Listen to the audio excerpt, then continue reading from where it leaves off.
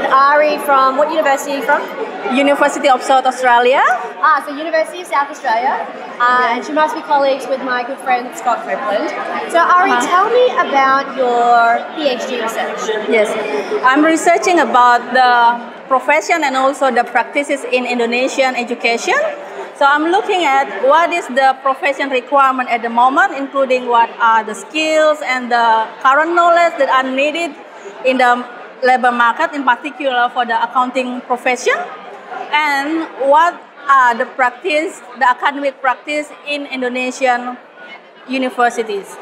So I would like to see whether the academics already teaching the right thing to their students uh, by means of whether the academic already update themselves with the current knowledge and also the current skill required in the market so they can deliver or they can uh, equip the student with the current skills that needed in the market.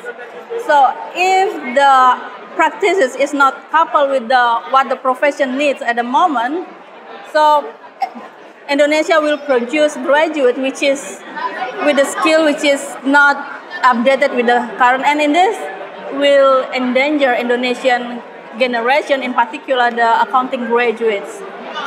That's really important. I know I have a lot of uh, Yeah. YouTube viewers out there who are in Indonesia, and especially Mm. in countries that are still developing their accounting professions and their Mm-hmm. qualifications frameworks.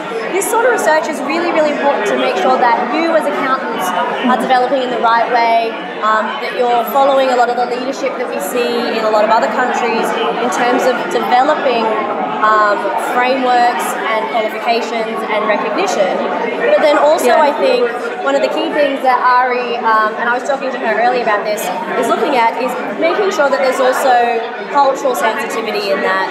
Because uh, she was telling me that Indonesia is a huge, diverse range of cultures. So I want to thank you for coming to talk to me today. And uh, for all those Indonesian students out there, say big hi Hi. So she's the Yes. one helping your profession. So as your profession improves, her research is going to help inform that.